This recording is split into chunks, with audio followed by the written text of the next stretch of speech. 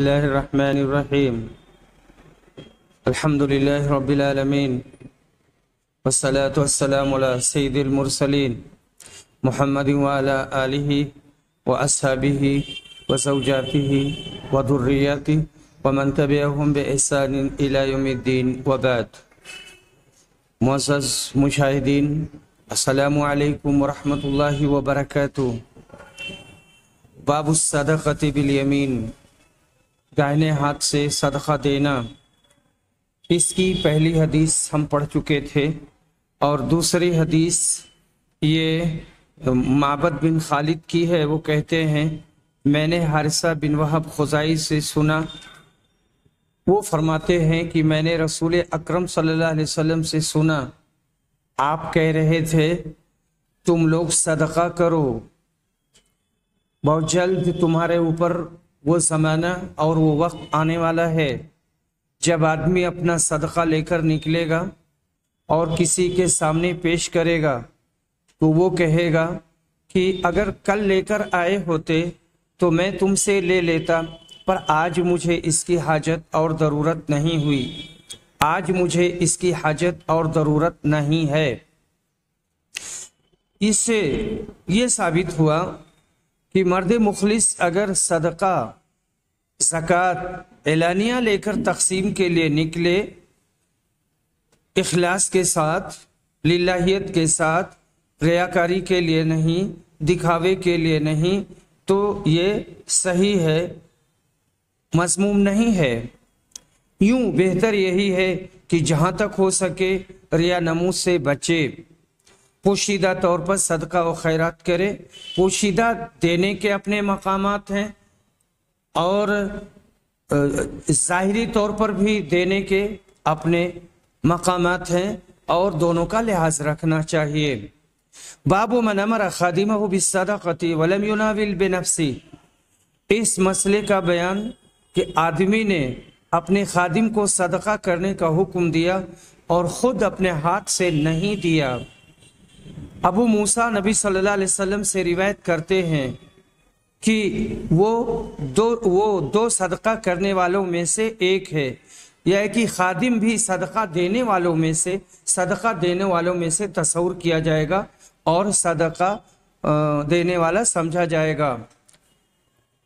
हज़रत आयशा रदियल्लाहु रिवायत करती हैं, कहती हैं कि नबी सल्लल्लाहु अलैहि वसल्लम ने फरमाया अगर औरत अपने शौहर के माल से कुछ खर्च करे और उसकी नीयत शौहर की पूंजी खराब करने और बर्बाद करने की ना हो तो इसे खर्च करने का सवाब मिलेगा और शौहर को भी उसका सवाब मिलेगा कि उसने कमाया है।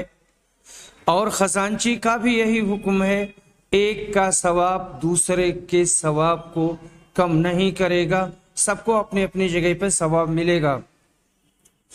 इसका मतलब बिल्कुल ज़ाहिर है कि मालिक के माल की हिफाजत करने वाले और उसके हुक्म के मुताबिक उसी में से सदका खैरात निकालने वाले मुलाजिम, खादिम खजानची सभी अपनी अपनी हैसियत के मुताबिक अजर सवाब के मुस्तक होंगे। हती की बीवी भी जो शौहर की इजाज़त से उसके माल में से सदका खैरात करे, वो भी सवाब की मुस्तक होगी। इसमें एक तरह से खर्च करने की तरगीब है और दियानत व अमानत की तालीम और तलकीन भी है। बाबुल ला सदक़त इल्ला अंदहर गिनन। वही सदका बेहतर है, जिसके देने के बाद भी आदमी मालदार रहे। और तंगदस्त और खाली हाथ ना हो। वमन तसदका वह मुहताज। और जिस शख्स ने सदका किया, और वो खुद मुहताज है, या उसके बाल बच्चे मुहताज मुहताज हो, और उनके पास खर्च करने के लिए कुछ ना हो, या उसके पास, उसके ऊपर कर्ज हो तो कर्ज ये ज़्यादा हक रखता है कि उसको अदा कर दिया जाए, दे दिया जाए, बनस्बत सदका देने के, गुलाम आज़ाद करने के, हेबा करने के। और आदमी ने जो सदका दे दिया है, इसको रद्द कर दिया जाएगा और वो कबूल नहीं होगा।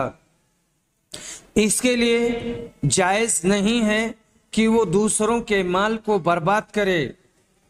रसूल अक्रम वसल्लम ने फरमाया था, जो शख्स लोगों का माल तल्फ करने की नीयत से, यानी दूसरों का माल बर्बाद करने की नीयत से किसी से कर्ज ले तो अल्लाह उसको बर्बाद कर देगा।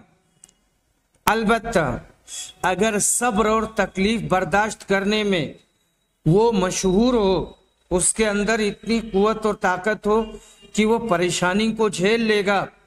तो अपनी खास हाजत पर फकीर की हाजत तो ज़रूरत को मुकदम कर सकता है। जैसे कि हज़रत अबू बकर रज़ी ने अपना सारा माल खैरात में दे दिया और इसी तरह अंसार ने अपनी ज़रूरत पर महाजरीन की ज़रूरियात को मुकदम किया और नबी अकरम सल्लल्लाहु अलैहि वसल्लम ने माल को तबाह करने से मना फरमाया है। माल को ज़ाय करने से रोका है। तो जब अपना माल तबाह करना मना हुआ तो पराए लोगों का माल तबाह करना कैसे जायज़ हो सकता है? हज़रत काब बिन मालिक ने रसूल अकरम से आकर के अर्ज़ किया, अल्लाह के रसूल, मैं अपनी तौबा को इस तरह पूरा करता हूँ।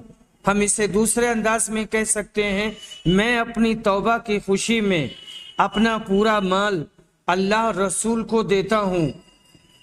आपने कहा, नहीं, कुछ थोड़ा माल रहने भी दो, वो तेरे हक में बेहतर है। हज़रत काप ने कहा, बहुत खूब, मैं अपना खैबर का माल और खैबर का हिस्सा रोक लेता हूँ और बाकी मैं देता हूँ। इमाम बुखारी रहमुल्ला ने इस बाब में अहादीस नबवी और आसार साहबा की रोशनी में बहुत से अहम उमूर उमूर जिनका ताल्लुक सदका और खैरात से है, उस पर रोशनी डाली है। उनका खुलासा ये है, इंसान के लिए सदका और खैरात करना उसी वक्त बेहतर है, जबकि वो शरई हदूद को मद्देनजर रखे। अगर एक शख्स के अहलो अयाल खुद ही मोहताज हैं, या वो खुद दूसरों के मखरूज हैं, या दूसरों का मखरूज है, फिर इन हालात में भी वो सदका करे और ना ये अहलो अयाल का ख्याल रखे और ना दूसरों का कर्ज अदा करे तो वो खैरात उसके लिए बाईस से सवाब ना होगी, बाईस से अज्र नहीं हो सकती है। बल्कि वो एक तरह से दूसरों की हक तलफी करना और जिनको देना ज़रूरी था, उनकी रकम को और उनके माल को बर्बाद करना होगा। रसूल अकरम सल्लल्लाहु ने फरमाया, मन अखस अमवाल अन्नासी युरीद इतलाफा इसका मकसद यही है, यानी दूसरों का माल जिसने लिया, कर्ज लिया और उसका मकसद उसके माल को ज़ाय करना है। अहले सब्र और ईसार, ये अल्लाह हाँ सब्र और ईसार अलग चीज़ है। अगर कोई हज़रत अबू बकर सिद्दीक जैसा साबिर शाकिर मुसलमान हो और अंसार जैसा ईसार पेशा हो तो उसके लिए ज़्यादा से ज़्यादा ईसार पेश करना दुरुस्त होगा और जायज़ होगा। मगर आजकल ऐसी मिसालें तलाश करना बेकार है, जबकि आजकल ऐसे अशखास नापैद हो चुके हैं। हज़रत काब बिन मालिक, वो बुज़ुर्ग तरीन जलील कद्र साहबी हैं, जो जंगे तबूक में पीछे रह गए थे। बाद में उनको जब अपनी गलती का एहसास हुआ तो उन्होंने अपनी तौबा की कबूलियत के लिए अपना सारा माल अल्लाह के रास्ते में दे देने का ख्याल ज़ाहिर किया। नबी सल्लल्लाहु अलैहि वसल्लम ने सारे माल को फ़ी सबीलिल्लाह देने से रोक दिया। तो उन्होंने अपनी जायदाद खैबर को बचा लिया, बाकी को खैरात कर दिया। इससे भी अंदाज़ा लगाना चाहिए कि कुरान हदीस की ये गरज हरगिज नहीं कि कोई भी मुसलमान अपने अहलो से बेनियाज होकर अपनी जायदाद फ़ी सबीलिल्लाह बख्श दे और वारिसीन को मुहताज मुफलिस करके दुनिया से जाए। ऐसा हरगिज नहीं करना चाहिए और ऐसा हरगिज नहीं होना चाहिए कि ये वारिसीन की हक तलफी होगी। अमीरुलमोमिन फिल हदीस, इमाम बुखारी रहमुल्ला का यही मंशाए बाब है। अबू हुरैरा रसील्लाहु अन्हु रसूल अकरम सल्लल्लाहु अलैहि वसल्लम से रिवायत करते हैं कि आपने फरमाया सबसे बेहतर सदका वो है जिसके देने के बाद भी आदमी मालदार रहे और अपने और मालदार रहे और जिनकी तुम किफालत करते हो, उनको पहले दो। और उसके बाद में हज़रत हकीम बिन हेजाम रिवायत करते हैं कि रसूल अकरम ने फरमाया, ऊपर वाला हाथ नीचे वाले हाथ से बेहतर है। और सदका तो खैरात की इब्तदा उनसे करो, जिन, जो तुम्हारे मोहताज हैं। बेहतर सदका वो है, जिसके देने के बाद भी आदमी मालदार रहे और जो पाक दामनी अख्तियार करेगा, अल्लाह ताला उसको पाक दामन कर देगा। और जो बेनियासी अख्तियार करेगा, अल्लाह ताला उसे बेनियास बना देगा। हज़रत अब्दुल्ला बिन उमर रिवायत करते हैं कि रसूल अकरम ने फरमाया, और आप मिंबर पर थे। आपने सदका, पाक दामनी, सवाल करना, इसका तस्करा किया। और ये भी कि अलियदुलिया खैर मिन सुफला, ऊपर वाला हाथ ये बेहतर है निचले हाथ से। तो ऊपर वाला हाथ ये खर्च करने वाला है और नीचे वाला हाथ ये मांगने वाला और लेने वाला है। ऊपर वाला हाथ वो देने वाला है, चाहे नीचे ही से ले। कई बार ऐसा होता है कि एक ऊपर से लेते और कभी नीचे से लेते तो देने वाला चाहे ऊपर से जे, चाहे नीचे से, वो दोनों ऊपर है और लेने वाला चाहे ऊपर से ले या नीचे से, वो नीचे ही है। अगर आदमी को बहुत ज़्यादा चीज़ देनी है, जैसे एक बोरा गेहूँ देना है, गेहूँ देना है, चावल देना है, मकई देनी है, और दोनों हाथ से बोरा पकड़ करके उठवाना है तो इसमें कोई हर्ज की बात नहीं है, इसमें कोई मसला नहीं है। वो देने वाला है, इसलिए उसका हाथ हमेशा ऊपर ही रहेगा। बाबुल मन्ना ने भी मैं आता। आदमी देकर के एहसान ना जतलाए, क्योंकि अल्लाह ताला ने फरमाया है, जो लोग अपना माल अल्लाह के रास्ते में खर्च करते हैं, और जो कुछ उन्होंने खर्च किया है, इसकी वजह से ना एहसान जतलाते हैं और ना ही किसी को तकलीफ़ देते हैं। तो सदका दे करके जक़ात दे करके एहसान नहीं जतलाना चाहिए। बाबू मन अहब्बताजिल सदक़त मियोमिहा साहिब निसाब होने के बाद साल पूरा होने से पहले ही जक़ात दे सकते हैं। उकबा बिन हारिस कहते हैं कि नबी सल्लल्लाहु अलैहि वसल्लम ने असर की नमाज़ पढ़ाई, फिर जल्दी से उठे और अपने एक घर में गए। और थोड़ी ही देर के बाद निकल आए। मैंने कहा, या आपसे कहा गया कि, आपसे कहा गया कि आप बहुत जल्दी गए और फ़ौरन चले आए। क्या मामला है? तो आपने कहा कि मैंने घर के अंदर सदका के सोने का एक टुकड़ा एक टुकड़ा छोड़ आया था। मुझे ये पसंद नहीं आया कि उसे तकसीम किए बगैर रात गुजारूं, इसलिए मैं अंदर गया, लेकर आया और उसे तकसीम कर दिया। तो यहाँ कहना यही है कि हमारे, हमको सदका देना है, जक़ात देनी है तो उसे दे देना चाहिए, ताखिर नहीं करनी चाहिए, क्योंकि वो खराब हो सकता है। हमारी तबीयत बिगड़ सकती है, हमारी मौत आ सकती है, चोर आ सकता है और उस माल को उठाकर ले जा सकता है। या कि घर गिर जाए और सब दब जाए और बर्बाद हो जाए। बाबू तहरीसी सदका सदका देने पर लोगों को उभारना और इस सिलसिले में सिफारिश करना। हज़रत अब्दुल्ला बिन अब्बास रिवायत करते हैं कि नबी सल्लल्लाहु अलैहि वसल्लम एक दिन ईद के लिए निकले।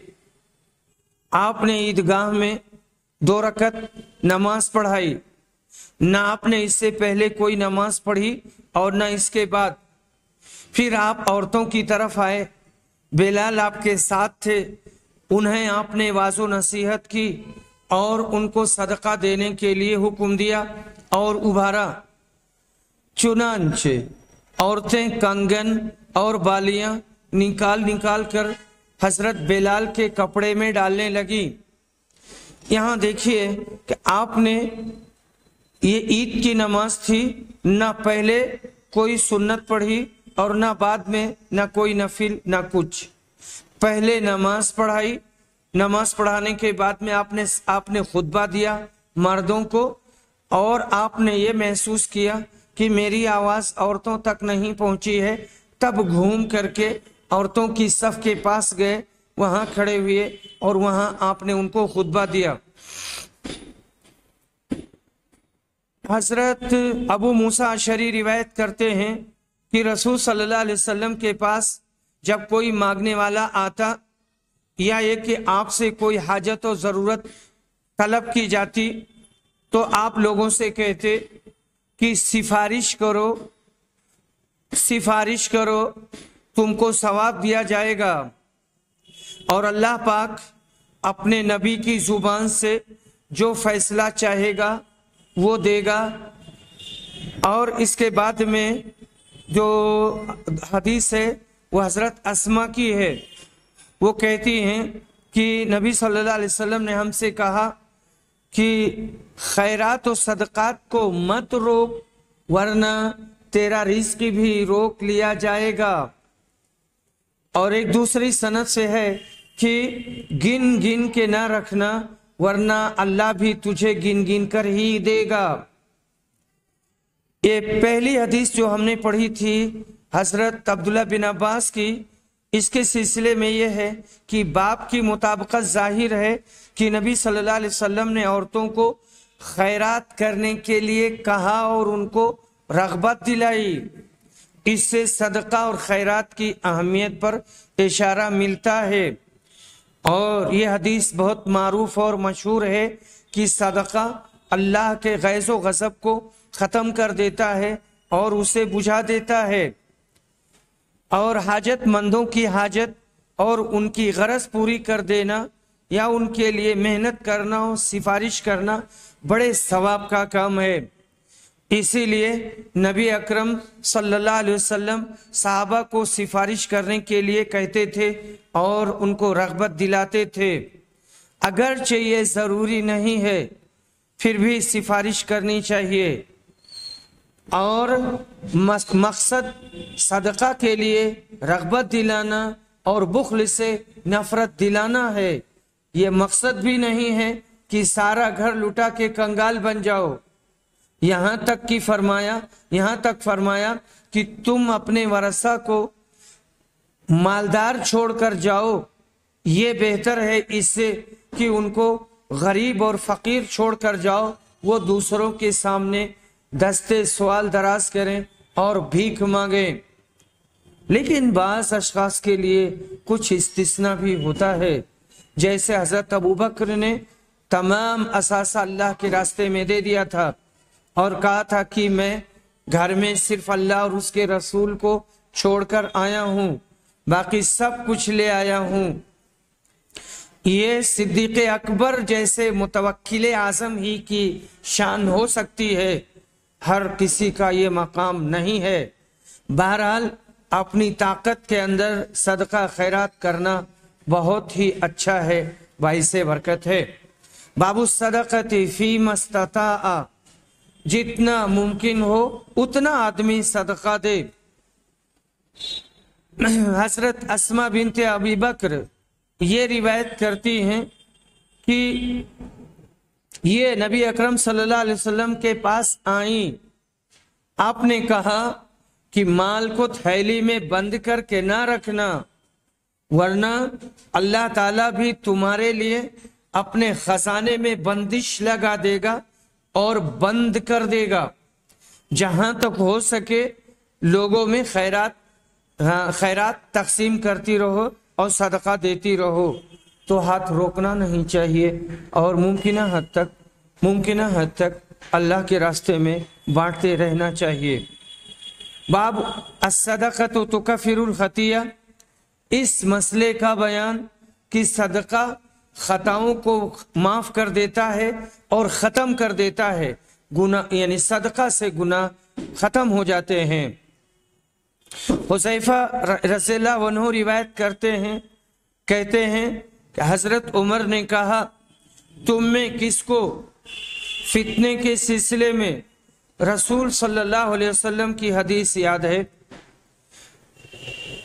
मैंने कहा, मुझे ऐसे ही याद है जैसे कि रसूल सल्लल्लाहु अलैहि वसल्लम ने फरमाया था, उन्होंने कहा कि तुम्हें इसके बयान करने पर जुरात है और तुम इसमें बड़े जरी हो।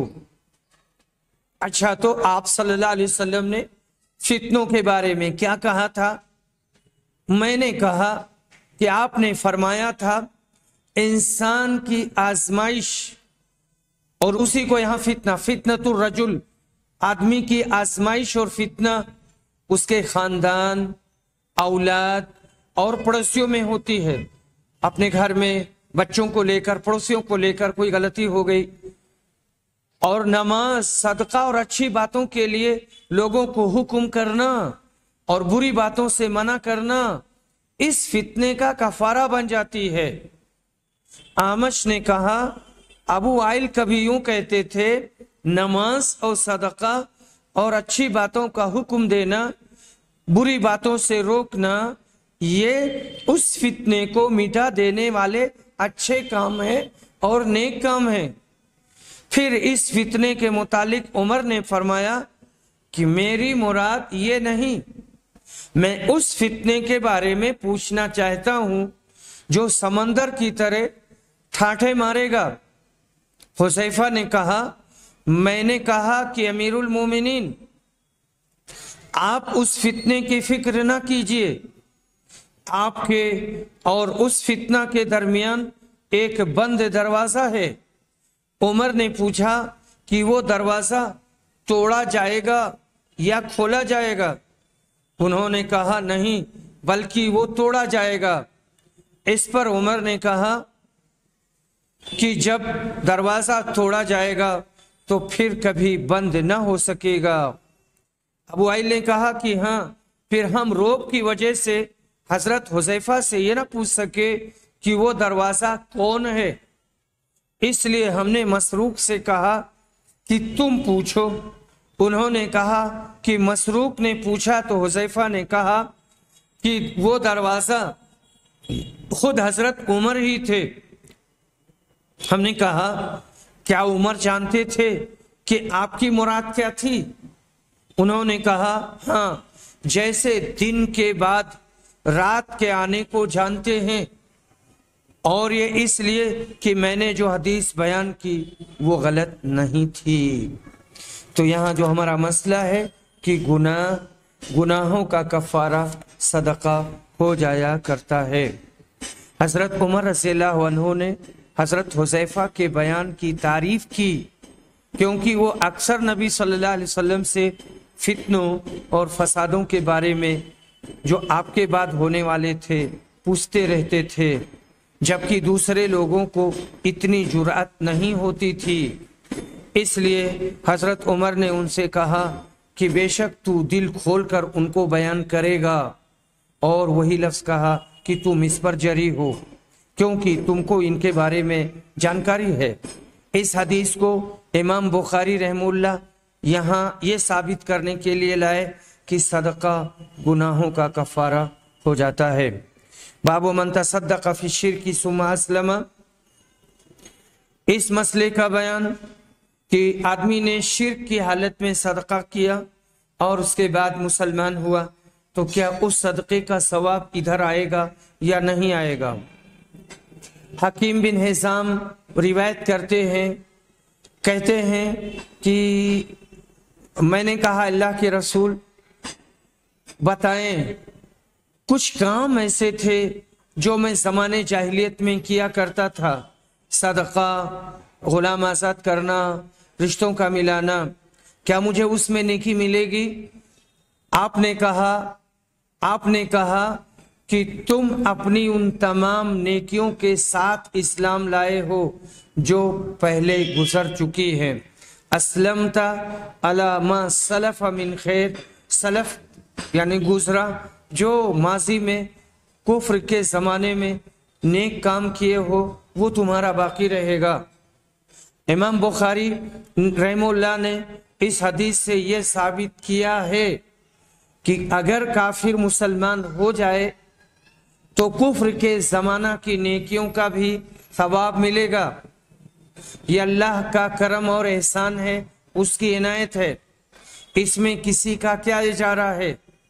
बादशाह हकीकी के पैगंबर ने जो कुछ फरमा दिया, वही कानून है। इससे ज़्यादा सराहत दारकुतनी की रिवायत में है कि जब काफिर इस्लाम लाता है और अच्छी तरह मुसलमान हो जाता है तो उसकी हर नेकी जो उसने इस्लाम से पहले की थी, लिख ली जाती है। और हर बुराई जो इस्लाम से पहले की थी, मिटा दी जाती है। इसके बाद हर नेकी का सवाब दस गुना से सात सौ गुना तक मिलता रहता है। और हर बुराई के बदले एक बुराई लिखी जाती है। बल्कि मुमकिन है अल्लाह पाक उसे भी माफ़ कर दे। बाब अजरिल खादिम ईसा तसदका बे अम्र साहिब ही गैर मुफसिद खादिम और नौकर के सवाब का बयान जब वो मालिक के हुक्म के मुताबिक सदका खैरात करता है और उसमें कोई बिगाड़ नहीं करता है उसकी नीयत फसाद की नहीं होती है हज़रत आयशा रदी अल्लाह फरमाती हैं कि रसूल अकरम ने फरमाया, जब बीवी अपने खाविंद के गले से कुछ सदका करे और उसकी नीयत उसे बर्बाद करने की, खराब करने की नहीं होती है तो उसे भी उसका सवाब मिलता है और उसके खाविंद को कमाने का सवाब मिलता है। इसी तरह खजांची को भी इसका सवाब मिलता है। इसा तसदकत इल्मर अतो मिनता आम जौजीहा। यहाँ आमतौर से ताम के माने खाना के होते हैं और ताम का इतलाक गले पर भी होता है। यहाँ गले पर इसका इतलाक किया जाएगा। यानी बीवी का खाविंद के माल को बेकार तबाह करने की नीयत ना हो तो उसको भी थवाब मिलेगा। खादिम के लिए भी यही हुक्म है। मगर बीवी और खिदमतगार में फ़र्क है। बीवी बगैर खाविंद की इजाज़त के उसके माल से खैरात कर सकती है, लेकिन खिदमतगार ऐसा नहीं कर सकता। अक्सर उलमा के नज़दीक बीवी को भी उस वक्त खाविंद के माल से खैरात दुरुस्त नहीं, जब तक इजमालन या तफसीलन उसने इजाज़त न दी हो। यानी उसके सिलसिले में कुछ इशारा दे दिया हो। इमाम बुखारी रहमुल्ला के नज़दीक भी यही मुख्तार है। बाज ने कहा, ये उर्फ़ और दस्तूर पर मौकूफ है। यानी बीवी, पका हुआ खाना वगैरह, ऐसी थोड़ी चीज़ें जिनके देने से कोई नाराज़ नहीं होता, दे सकती है, खैरात कर सकती है। वो खाविंद की इजाज़त मिले या ना मिले। हज़रत अबू मूसा अशरी रदी अल्लाह रिवायत करते हैं कि रसूल अकरम सल्लल्लाहु अलैहि वसल्लम ने फरमाया खासिन मुसलमान, अमानतदार, जो कुछ भी खर्च करता है और वो चीज़ पूरी तरह देता है, जिसका उसे उस सरमाया के मालिक की तरफ़ से हुक्म दिया गया है और उसका दिल खुश होता है और उसी को दिया है जिसे देने के लिए मालिक ने कहा है। तो वो देने वाला भी सदका देने वालों में से एक है, उसी में शुमार किया जाएगा और समझा जाएगा। बाबो अजरिल मरअत इज़ा तसद्दक़त औ अतअमत मिन बैती ज़ौजिहा गैर मुफसिदा। औरत के का सवाब जब वो अपने शौहर की चीज़ से, उसके माल से सदका दे या किसी को खिलाए और उसका इरादा बिगाड़ का ना हो, घर को खराब करने का ना हो। हज़रत आयशा रज़ी रिवायत करती हैं कि नबी अकरम सल्लल्लाहु अलैहि वसल्लम ने कहा था कि जब कोई औरत अपने शौहर के घर के माल से सदका करे और दूसरी रिवायत है कि नबी सल्लल्लाहु अलैहि वसल्लम ने कहा, जब बीवी अपने शौहर के माल में से किसी को खिलाए और उसका इरादा घर को बिगाड़ने का ना हो तो उसे उसका सवाब मिलता है और शौहर को भी वैसा ही सवाब मिलता है और खजांची को भी सवाब मिलता है शौहर को कमाने की वजह से। सवाब मिलता है और औरत को खर्च करने की वजह से। इमाम बुखारी रहमौला ने इस हदीस को तीन तरीकों से बयान किया। और ये तकरार नहीं है, क्योंकि हर एक बाब के अल्फाज जुदा हैं। किसी में ईसा तसदकतिल मरआ है, किसी में ईसा अमतिल मरआ है, किसी में मिम्बैत जवजिहा है। किसी में मिनताम बैतिहा है। और ज़ाहिर हदीस से ये निकलता है कि तीनों को बराबर बराबर सवाब मिलेगा। दूसरी रिवायत में है कि औरत को मर्द का आधा सवाब मिलेगा। कस्तलानी ने कहा कि दारोगा को भी सवाब मिलेगा, मगर मालिक की तरह उसको दो गुना सवाब नहीं मिलेगा। दारोगा का मतलब है वही निगरा मसरूक हज़रत आयशा से रिवायत करते हैं। वो नबी अकरम सल्लल्लाहु अलैहि वसल्लम से रिवायत करती हैं कि जब औरत अपने घर के खाने या माल की चीज़ से अल्लाह की राह में खर्च करे और उसका इरादा घर को तबाह करने का नहीं और बिगाड़ने का नहीं है तो उसे इसका सवाब मिलेगा और शौहर को कमाने का सवाब मिलेगा। और खजांची को भी इसी के मिसल मिलेगा। औरत का खर्च करना इस शर्त के साथ है कि उसकी नीयत घर बर्बाद करने की ना हो। बाज दफ़ा ये भी ज़रूरी है कि वो खाविंद की इजाज़त हासिल करे। मगर मामूली खाने पीने की चीज़ों में हर वक्त इजाज़त की ज़रूरत नहीं होती है। हाँ खाजिन या खादिम के लिए बगैर इजाज़त कोई पैसा इस तरह खर्च कर देना कतान दुरुस्त नहीं है। जब बीवी और खादिम इस तरह खर्च करेंगे तो असल मालिक यानी खाविंद के साथ वो भी सवाब में शरीक होंगे। अगरचे उनके सवाब की हैसियत अलग अलग होगी। हदीस का मकसद भी सबके सवाब को बराबर करार देना नहीं है। बाबो कौलिल्लाजल फ़अम्मा मन आता वत्तका वसद्दक़ बिल लिल व बिल लिल जिसने अल्लाह के रास्ते में दिया और उसका खौफ अख्तियार किया और अच्छाइयाँ की, यानी इस्लाम की तस्दीक की, हुसना की तस्दीक की तो हम उसके लिए आसानी की जगह, यानी जन्नत को आसान कर देंगे। लेकिन जिसने बुखल किया और बेपरवाही बरती और अच्छाइयों को झुटलाया यानी इस्लाम को झुटलाया तो उसे हम दुश्वारियों में, यानी जहन्नम में फंसा देंगे। और फरिश्तों का उसके लिए ये कहना, अल्लाह माल खर्च करने वाले को उसका अच्छा बदला दे। हज़रत अबू हुरेरा रसी रिवायत करते हैं कि नबी सल्लल्लाहु अलैहि वसल्लम ने फरमाया, कोई दिन ऐसा नहीं जाता कि जब बंदे सुबह को उठते हैं तो दो फरिश्ते आसमान से उतरते हैं। एक फरिश्ता कहता है अल्लाह, खर्च करने वाले को इसका बदला दे। और दूसरा कहता है कि अल्लाह, बखील को के माल को तल्फ कर दे और बर्बाद कर दे। बाबुल, बाबो मसलिल मुतसद्दीकी वल बखील, सदका देने वाले की और बखील, बखीली करने वाले की मिसाल का बयान।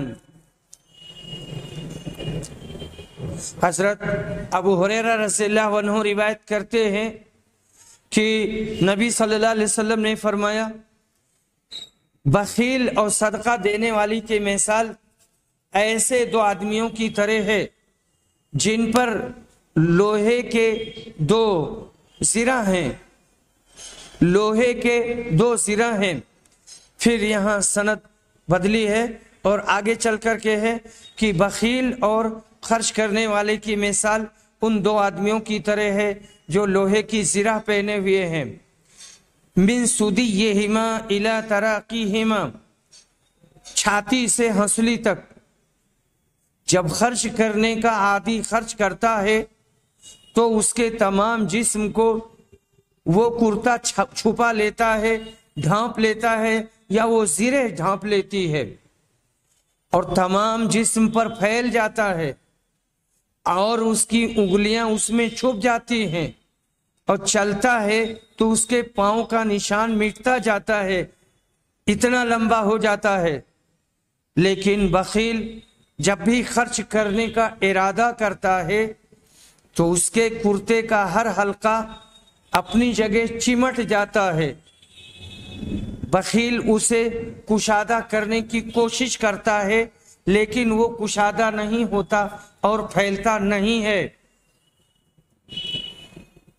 और इसके बाद में जो रिवायत आई है, उसमें यह है, एक लफ्ज के बारे में बताया गया है कि जुन्नतान, इसमें दो जिरहें हैं।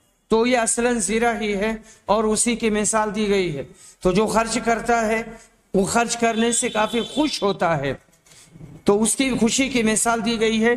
जीरा फैल जाती है, काफ़ी लंबी हो जाती है और जब वो चलता है तो ज़मीन पर वो जीरे घिसटती है और उसके पैर के निशान मिटते रहते हैं। लेकिन जो बखील होता है, ये बखील, बखीली करने की वजह से इसका दिल सिकुड़ा रहता है। दिल और दिमाग सब सिकुड़े रहते हैं। तो इसी की यहाँ पर मिसाल दी गई है।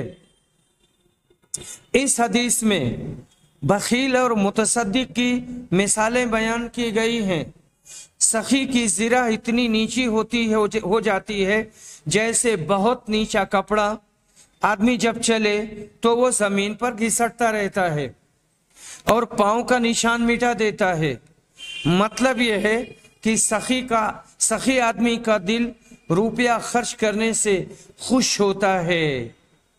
उसका दिल कुशादा हो जाता है और उससे बहुत ज़्यादा फरहत इम्बिसात महसूस करता है।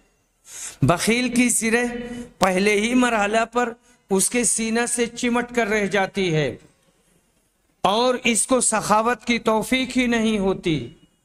इसके हाथ सिरा के अंदर मुकैद होकर रह जाते हैं। बाबो सदकतिल कसबी व तिजारा। मेहनत और तिजारत के माल में जक़ात निकालना और जक़ात देना। तो आदमी जो कमाई करता है, तिजारत करता है तो तिजारत के माल में जक़ात है। जैसे हम दुकान करते हैं, अब ये दुकान कोई भी हो किराना की दुकान है कोई एजेंसी है या कि कोई फैक्ट्री है तो उसमें जक़ात आएगी। क्योंकि अल्लाह ताला ने फरमाया है या अयुहल्लदीना आमनु अनफिकू मिन तय्यबाति मा कसबतुम। अय ईमान वालो अपनी कमाई के उम्दा और मा, पाकिजा माल में से खर्च करो और उनमें से भी जो हमने तुम्हारे लिए ज़मीन से निकाले हैं और पैदा किया है। इमाम बुखारी रहमुल्ला ने यहाँ इशारा किया है और इस रिवा, उस रिवायत की तरफ़ जो मुजाहिद से मनकूल है कि कस्ब और कमाई से इस आयत में तिजारत और सौदागरी मुराद है और ज़मीन से जो चीज़ें उगाएँ उनसे गल्ला और खजूर वगैरह खजूर वगैरह मुराद है। तो ज़मीन की जो पैदावार है, उसमें से उश्र और निस्वे उश्र निकलेगी। इतनी उश्र और निस्वे उश्र जक़ात में निकलेगी। और जो दुकान की दुकान की कमाई है, तजारत है, या फैक्ट्री है, किसी भी तरह की कमाई का ज़रिया है, उसमें से उसमें से चालीसवा निकलेगा। यानी सौ में से ढाई फ़ीसद ढाई ढाई रुपया, यानी ढाई फ़ीसद। बाबुन अलाकुल्ल मुस्लिम सदका फमल्लम यजिद फलियामल बिल मारूफ।